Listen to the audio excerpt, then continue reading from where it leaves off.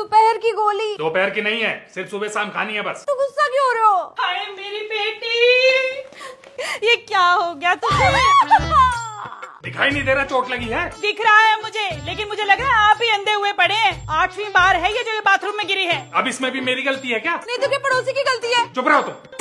क्यों चुप रहेगी ये? एक बात बताइए कितनी बार बोल चुके हैं हम आपको कि बाथरूम की टाइल्स बदलवा लो? अरे बाथरूम तो बाथरूम पीछे देखो पूरा घर सीलन से भरा पड़ा है। और एक बार जब मैं पहले आई थी तो आपकी पूरी छत जर्जरा रही थी। कोई होश है आपको? मुझे होश है।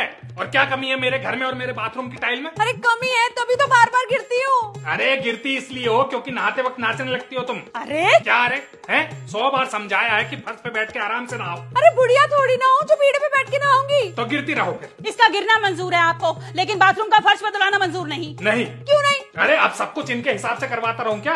लो ऐसा क्या करवा दिया आपने हमारे हिसाब से? मेन गेट बरामदा सीढ़ी टॉयलेट बाथरूम कुछ भी बचा है पहले जैसा? अरे तो पुराने डिज़ाइन को नया करने में हर्जी क्या है? कल को देखना कहीं तुम्हारा दूल्हा भी नए डिज़ाइन का ना ले आए ये लोग। देखिए दामाजी नहीं करवाना तो मत करवाइए लेकिन ये जो उल जुलूल बकवास करते हैं ना आप अरे छोड़ो ये सब मम्मी को पानी तो पिला दो कम से कम। पहले ये आलू छीलूं या इनको पानी पिलाऊं? अरे नहीं पीना मुझे पानी आप बैठ कर आलू छीलिए।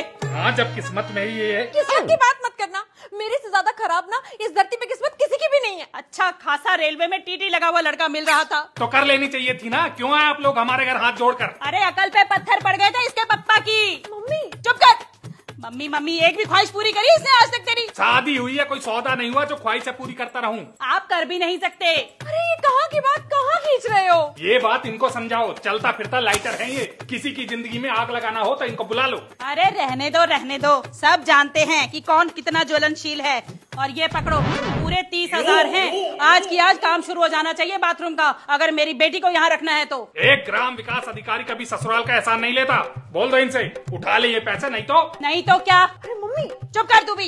इतना भी क्या बर्दाश्त करना? बर्दाश्त किया ही कितना है? अरे बर्दाश्त ही तो कर रही है जब से शादी हुई है तब से। अरे हम सोचते थे चलो अब सही हो जाएगा अब सही हो जाएगा पर नहीं यहाँ तो हालात बिगड़ते ही जा रहे हैं। बिगड़ तो रही है देख नहीं रही हो एक ग्राम विकास अधिकारी लुंगी में बैठा आलू छील रहा है। अब इससे ज़्यादा और क्या बिगड़ेंगे हालात? हाँ तो तुम कमाते रहो ना पचपन हज़ार रूपए। तुम भी इसे ऊपर मत जाना। पैसे की दिक्कत थी इसीलिए मम्मी लेकर आई है तीस हज़ार रूपए। तो इनके पैसों से बदलवा लू क्या फ़र्ज़? अरे नहीं आप अपने पैसे से बदलवा लो पर प्रभु बदलवा लो।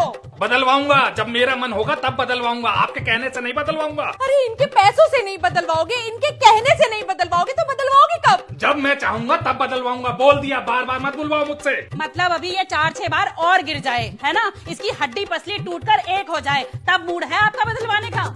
मेरे मूड का छोड़िए। ये मेरा घर है। जो मैं चाहूँगा वो होगा यहाँ ले देख ले। ये तो दिन पर दिन और पागल होता जा रहा है ये आदमी। ज़मीन पर छिलके कौन फेंकता है भला? तो आपको झाड़ू लगानी है क्या यहाँ? मैं क्यों लगाऊँ तुम्हारे घर में झाड़ू? तो मुँह बंद करिए और निकलिए यहाँ से। अरे ये क्या तरीका है मम्मी से बात करने का? अरे तरीका तुमने इनका देखा।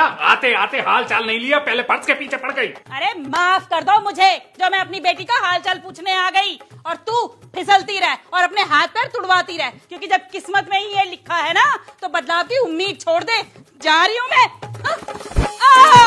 हाय।